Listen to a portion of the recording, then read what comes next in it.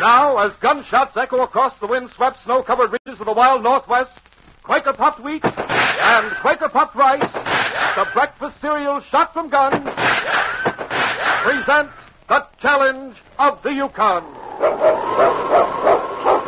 It's Yukon King, swiftest and strongest lead dog of the Northwest, blazing the trail for Sergeant Preston of the Northwest Mounted Police in his relentless pursuit of lawbreakers. Run, King! Run! Gold, gold discovered in the Yukon. A stampede to the Klondike in the wild race for riches. Back to the days of the gold rush. With Quaker puffed wheat and Quaker puffed rice, bring you the adventures of Sergeant Preston and his wonder dog Yukon King as they meet the challenge of the Yukon.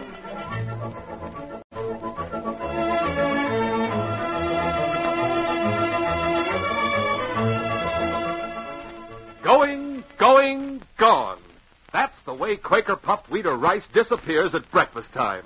These ready to serve cereals hit the spot from first to last delicious spoonful. Yes, wheat or rice shot from guns is exploded up to eight times normal size to make it crisp and tender. Tomorrow morning, fill a bowl with Quaker Puff wheat or rice, top with fruit, like, say, uh, sliced bananas, add milk and sugar, and say, do you know what? There's no beating this eating. That's what.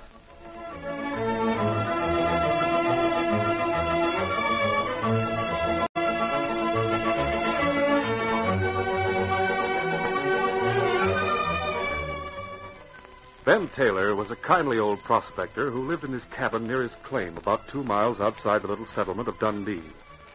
Old Ben's grandson, Bobby, ten years old, lived with him. Bobby was an orphan and thought his grandfather was the finest and bravest man in all the Yukon Territory. Old Ben had built himself up in Bobby's estimation by the many heroic tales he told the boy. Though the people in Dundee laughed at old Ben's habit of stretching the truth, they regarded him as a harmless and likable old sourdough. One cold, bleak day, as he and Bobby journeyed the two miles to the settlement by dog sled, old Ben, as usual, was telling the boy of his various past adventures. Yep, like I was saying, Bobby, I done my bit to bring law and order to this here Yukon territory. Yes, sirree. Well, I recollect the time that You I... mean you belong to the Mounties, Grandpa? Well, now, I didn't say that, son, but I reckon they would have took me on if I if I'd have told them I was willing. Get up. Mush! Now, where, where was I? Oh, yes, like I was saying. I recollect the time I was over in Selkirk when there was a ruckus in the trading post there. Seems like a big, tough crook from Whitehorse had come to Selkirk and was holding up the trading post just when I was mushing by with my dog sled. Gee, well, what did you do? Well, I stopped my sled, pulled out my six shooter, and went barging right on in. Ah!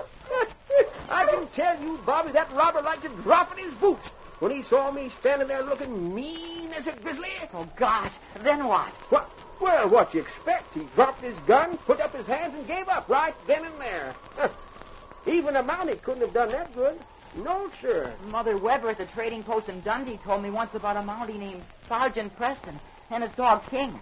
I bet they would have caught that robber, too. Sergeant Preston of the Mounties, huh? Eh? Funny thing, but I was just going to tell you about the time I helped him track down a couple of crooks. Oh, do you know Sergeant Preston and King? King. Oh, his dog.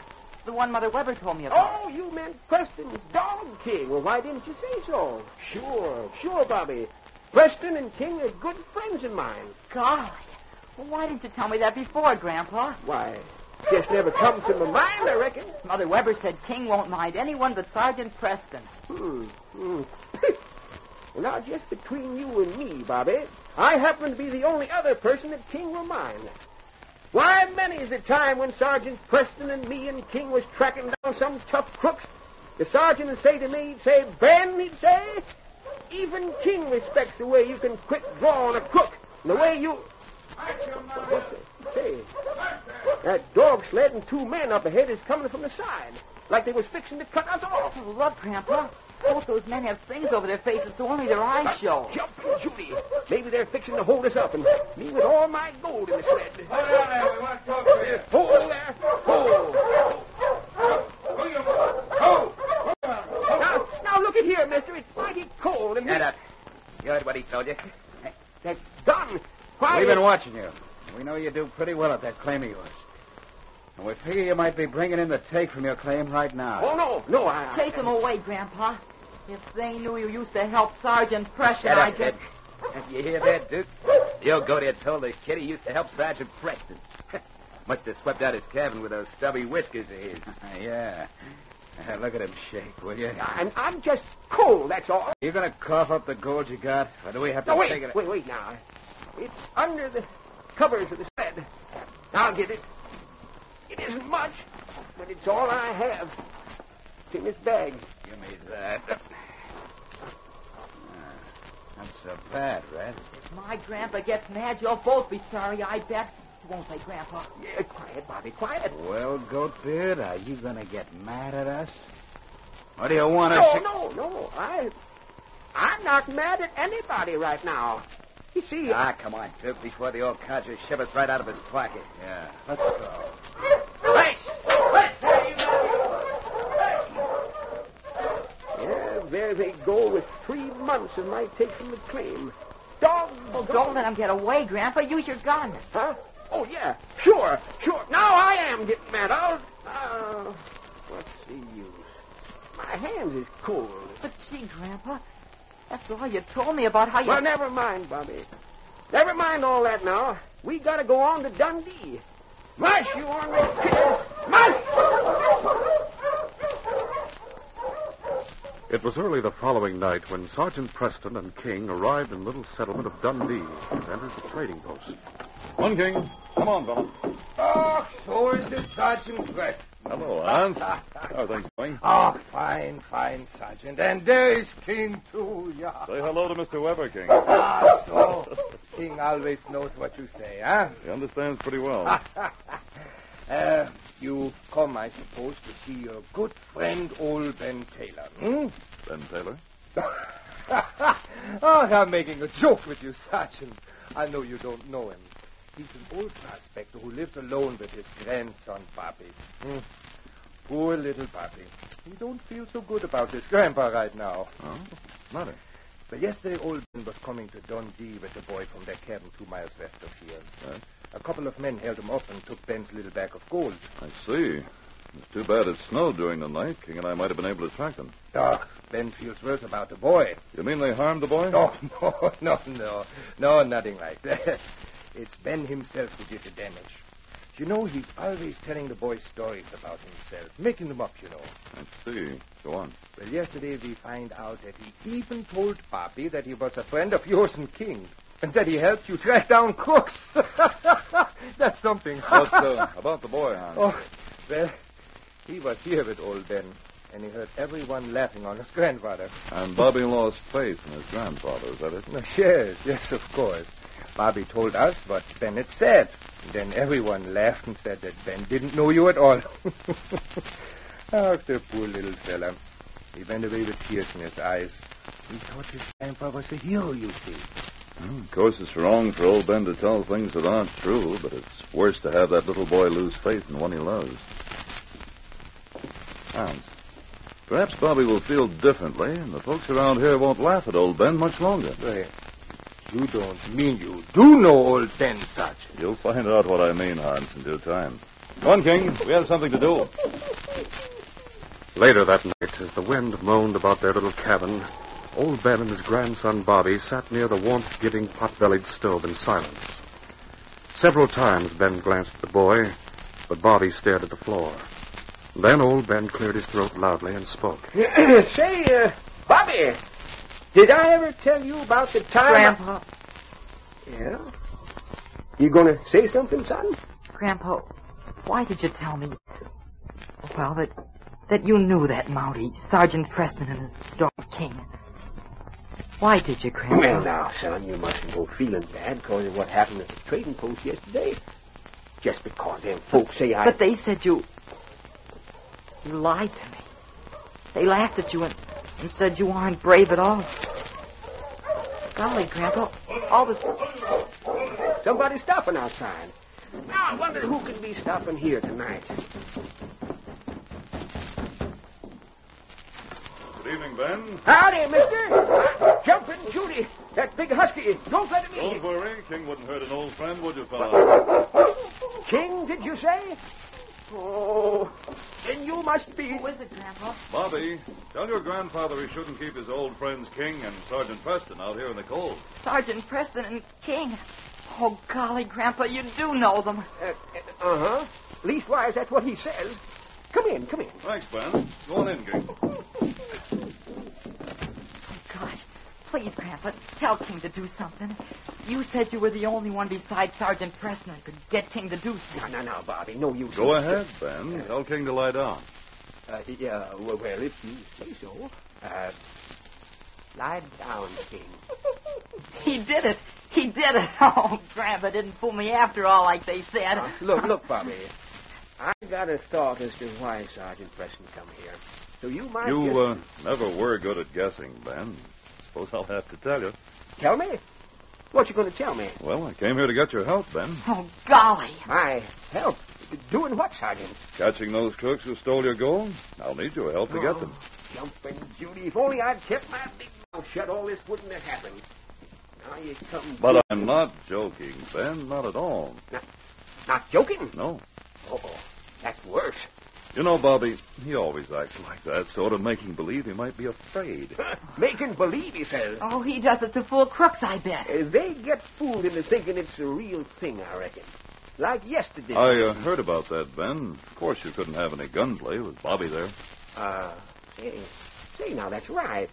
You know, if Bobby hadn't been along, I'd... Leave that for another time, Ben, eh? Huh? Oh, yeah. So far, you haven't said you'd help me catch those crooks. What about it? Oh, gosh, Sergeant Preston, you know he will. Won't you, Grandpa? See, even King is looking at you, aren't you, King? King's asking you to help, too, Ben. Uh, Well, now, it's this way. You Fine, see... I knew you would. Yeah, now, uh, put on your parka and we'll step outside while I tell you our plans. By this time tomorrow night, I feel sure we'll catch the crooks who stole your gold.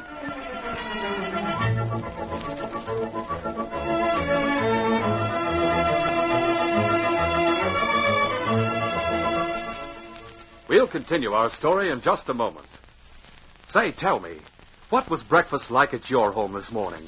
Was your family a breakfast happy family? Did you enjoy tasty heaping bowlfuls of Quaker puffed wheat or rice? Say, if you didn't, you know what? I'd say you were missing out, that's what. That's because Quaker puffed wheat and rice are the famous ready-to-serve cereals shot from guns. Yes, huge guns are loaded with only the premium wheat or rice grains. Then these choice kernels are actually exploded up to eight times normal size to make them bigger and better tasting. These king-size grains are magnified, glorified, crispified. And most important, Quaker puffed wheat and rice are good for you. They furnish added food values of restored natural grain amounts of vitamin B1, niacin, and iron. So take a tip. Don't miss out. Check right now. See if you've a supply for this coming weekend of wheat and rice shot from guns. If not, ask for both delicious kinds Quaker puffed wheat and Quaker puffed rice.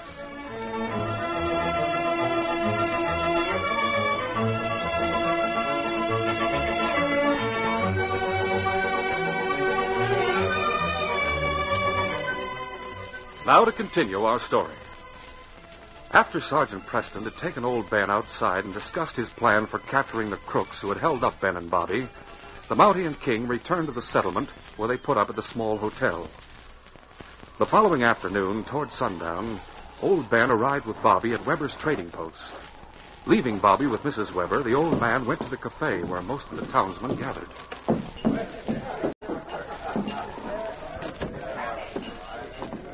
Well, if it isn't old Ben himself. Tracking down them crooks, Ben? Well, now, maybe I have, and uh, then again, maybe I haven't. Oh, Hans Weber at the trading post told me that old friend of yours, Sergeant Preston, went through here yesterday, yesterday, Ben. Maybe you should have been on hand to greet him and that famous dog of his. Well, I reckon Preston and King would understand if I didn't get in to greet him. now, look, Ben. You still aren't sticking to that story about being good friends of theirs, are you? Yeah, Ben, give it to us straight. Come on, admit you're telling a tall one, Ben. don't reckon I got to admit anything to any of you that I don't want to. Tell us straight from the shoulder, Ben. How come you let them crooks get away with all the gold you had without lifting a finger to stop 'em? Well, now, who said it was all the gold I had, anyhow? Matter of fact, maybe those crooks was the ones who really got fooled. Never can tell. What do you mean by that? Yeah. What do you mean? Wasn't it all you had, Ben? I reckon if I was to tell you, and them crooks ever was to find out that I had the biggest part of my gold hid back in a certain place inside my cabin, both you and them would be surprised. Well, looks like they were outsmarted after all. If you have the biggest part hid at the cabin. I'm not saying it's really true, mind you. When you tell us something and say it isn't really true, that's when we know it must be true. How about it, boys? What did you do? Leave little Bobby out there alone to watch over that gold for you? No, no, Bobby's over at the Weber's. Going to stay there tonight on a visit. Don't need anyone to watch at the cabin. I got a certain place there to hide things. A place no one could find without me being there to tell him. You uh, staying over for the night, too, Ben? Oh, don't reckon so. Got some things to do early in the morning out at McLean. Fact is, I'm starting back to my cabin right now. Just dropped in to get warmed up a bit before starting. Be seeing you all again soon. Go on. So long, Ben. Bring in all the crooks you catch. Yeah.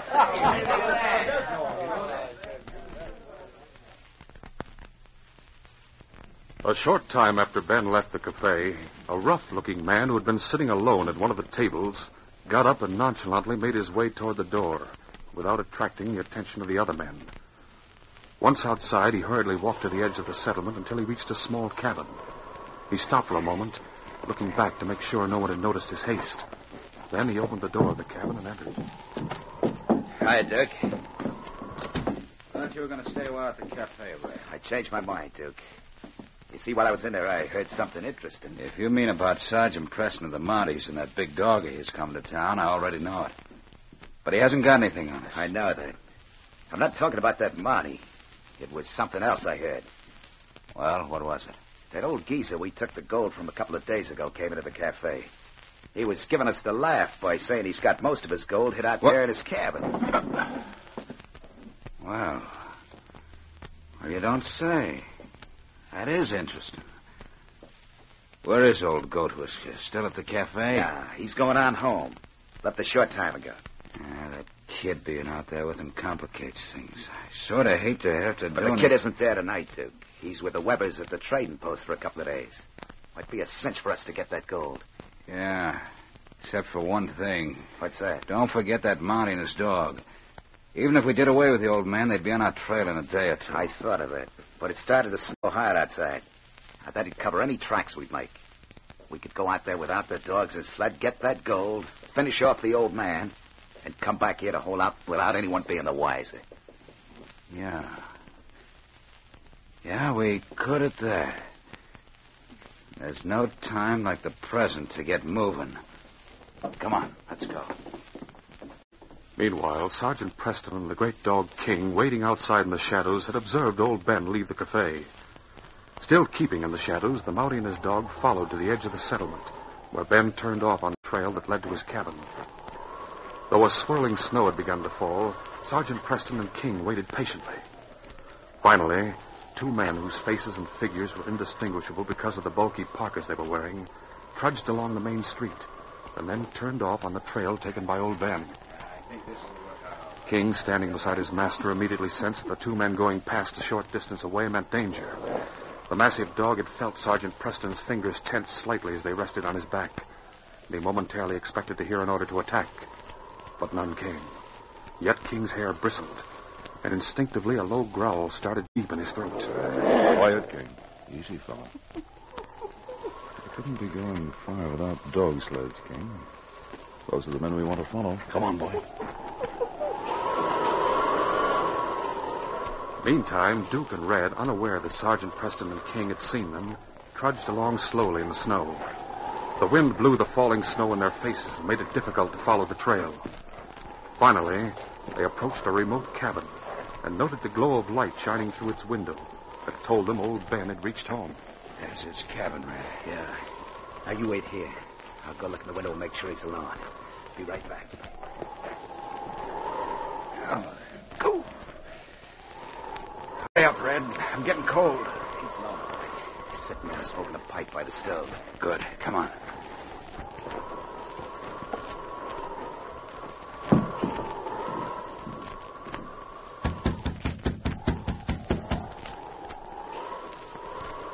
Maybe he won't open up. If they don't, we'll go around to the window and break. Who's there? We are. Get out of the way. Oh, say, now, you're kind of rough for callers, aren't you? Shut up. Close the door, Duke. Slow to beat the band, isn't it? How come you're traveling without a dog team tonight? Never mind the chatter. We came here for a purpose. You did? Well, what do you know? Guess you don't know who we are, goat face. Uh, no, don't reckon I do, mister. Kind of place them voices of yours, but for the life of me, I can't tell just where I heard 'em before. Now, let's see, was we it didn't over... come here to play guessing games. Don't blame me a bit. If there's one thing that gets me out of sorts, it's playing games. I recollect once when I And the went... space shooter says you'll shut up and listen. I never talk back to a gun, mister. I'm listening. You got gold hid in this cabin. Where is it? Now, however did you find that out, I wonder? If you didn't shoot off your mouth so much, we wouldn't have found it out. Where is it? Ah, let me see. Just where is that hiding place? you know, the older I get, the more forgetful I become. It's a funny thing, isn't it? Ah, plug the old coat, and then we'll search the cabin. now, now, don't be so hasty. Yeah, I reckon I'm beginning to remember where that hiding place is at that. Speak up then. Yeah, funny thing. The old man don't seem to be nervous like he was the other day when we held him up on the trail. What? So that's where we met before. You know, now that I come to think Show of us that hiding place, or I'll... Yeah, sure, sure. It's, it's under the floorboards over there in that corner. My rheumatiz acting up tonight, so if you want to see for yourself... Let's take a look, Duke. All right. Couple of loose boards here, Red. Kind of hard to get up, though. Yeah, Bobby usually has to help me lift them. Yeah, sort of takes two. Sit down there and don't move, or I'll let you have it. Sit down. Uh, sure. Sure, mister. He's shaking now, all right. I'll help you, Duke. He's nothing to worry about. As Red walked over to help Duke and stooped down to loosen the floorboards, Ben slyly took a gun from inside his coat. At first, his hand shook violently. Then, remembering Sergeant Preston and King, he controlled himself. And grasping the gun in both hands, stood up and aimed it at Red and Duke. Now, now I got both of you covered. So you better drop that gun. Look, Red. I ain't gonna shoot if you don't drop that gun, mister. Hey, old Billy Carter. You better take a look at the window behind me, mister, and think again. I reckon you'll see a Mountie standing there, aiming at you right through the window. You see, this was all planned to get you to come here. It's a trick, Red. Ah, yeah, that's right. And it worked, too. Yeah? Well, if part of your plan was to have a Mountie standing outside that window with a pointed gun, it didn't work. There's nobody outside that window. Ah, but nobody outside. But there must be. He said he'd be sure to cut. Oh! As old Ben realized that Sergeant Preston wasn't at the window as he'd planned to be, he stared in dismay at the crooks before him, and the gun wobbled in his shaking hands.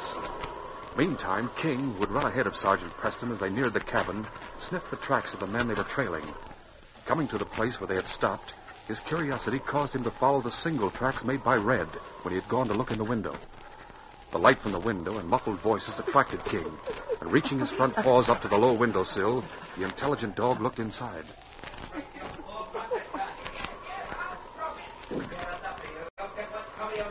King's sharp ears caught the ominous tones of Red's voice. They saw him reach out his gun toward old Ben. The great dog instinctively knew the gun would spurt out death-dealing bullets any minute, and he went into action. Moving back a short distance, he raced forward and sprang. King lunged straight for Red, grabbing him by the gun arm and knocking the gun from his hand. Help, get him off! Do something, Duke! I'll get him down! No, I won't let you! Let go of my arm, you old fool. Duke, do something! Get that dog off! This'll settle you, old man. Oh, Duke! Duke, use that gun! Hurry! I'll shoot that dog right now. Oh, my arm! He'll live, I think. Watch him, King. Ben. Ben, are you all right? Oh. I, I'm a goner. They got me. Sergeant Preston, you got here. Yes, Ben, but almost too late.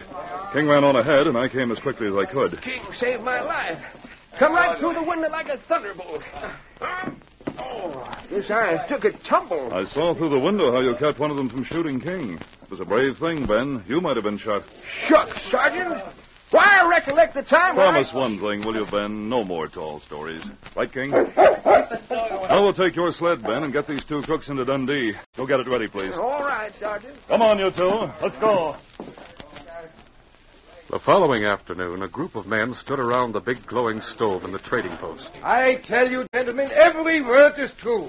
Sergeant Preston himself told me the story. Well, maybe so, Hans, but it's hard to believe that old Ben. Oh, here they come now, and also King and little Bobby. Hello, Hans. Hello. Quite a gathering you have here today. Ah, that is so, Sergeant. They have come to find out if it is true what you told me about old Ben. I don't believe in lying, Ah, Hans. there. You see, just like I said. And my grandpa is a friend of Sergeant Preston's and King's. So there. He certainly is, Bobby. He stood up to those crooks last night and saved King's life. I asked for Ben's help in catching those crooks, and he didn't fail me. Yeah, he did it all right. Well, I'll be doggone. I guess we got to apologize to you, Ben. You're all right, eh, man? Yes, sir. Uh, tell us, Ben. Weren't you scared any? Uh, well, now, I got to admit I was a mite scared for a bit. But we set out to get the crooks that robbed me. By gum, we did it, too. Found my bag of gold on one of them. Grandpa's about the bravest man I ever heard tell of. Catching those crooks wasn't anything to some of the things he's done. Isn't that right, Grandpa? well, now, come to think of it, I do recollect once over in Selma. Seems like King's trying to tell me something. Could be, Ben. Maybe he remembers a certain promise. Huh? Oh. Yep, smartest dog I ever knew of. What were you going to tell about when you were in Oh, Selkirk? forget it, Bobby. Any stories I have a mind to tell, I'll let King tell them for me after this. That's the wisest decision you ever made, Ben. But at least you can tell how you helped King and me close the case. Eh, King?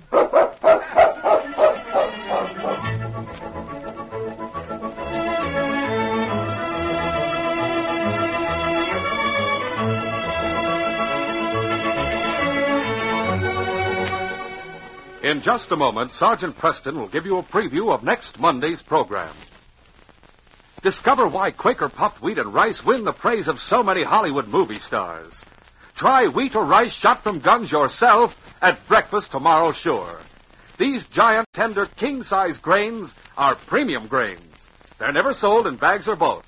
Always look for the big Quaker red and blue package to get the original, crisp, fresh Quaker puffed wheat and Quaker puffed rice. These radio dramas, a feature of the Challenge of the Yukon Incorporated, are created and produced by George W. Trendle, directed by Fred Flowerday, and edited by Fran Stryker. The part of Sergeant Preston is played by Paul Sutton. They are brought to you every Monday, Wednesday, and Friday by Quaker Puffed Wheat and Quaker Puffed Rice, the breakfast cereal shot from guns. Listen next Monday when Sergeant Preston and Yukon King meet the Challenge of the Yukon in the adventure of Potluck Killers. We've a mighty exciting show for you next Monday. It begins when King saves a girl from drowning, but that's just the beginning. Before we leave that girl, I'm captured by six murderers. And if it hadn't been for King, well, it's a critical moment when they decide to add me to their list of victims. Don't miss this exciting story next Monday. Till then, this is J. Michael wishing you goodbye, good luck, and good health from Quaker Puffed Wheat and Quaker Puffed Rice. So long.